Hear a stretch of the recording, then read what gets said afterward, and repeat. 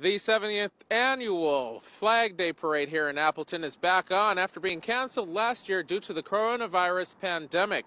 The reason? Projected vaccinations and a downward trend in COVID. Eric Richards, Local 5 News in Green Bay. As more and more people get vaccinated in the fight against the coronavirus pandemic, the Catholic Church is calling for well, did you know that there is a level of government working 24 7 to ensure the safety and well being of all Wisconsinites?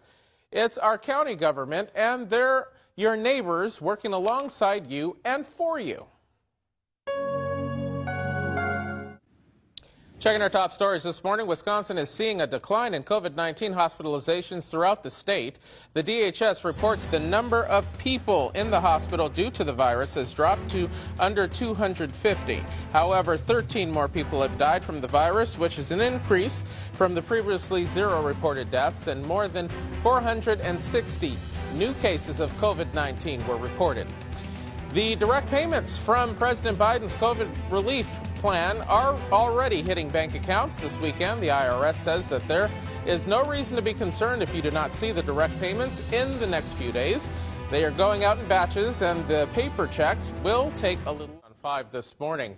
Wisconsin is seeing a decline in COVID 19 hospitalizations throughout the state. The DHS reports the number of people in the hospital due to the virus has dropped to under 250.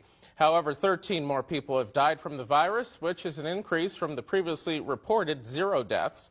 And more than 460 new cases of COVID 19 were reported. Wisconsin.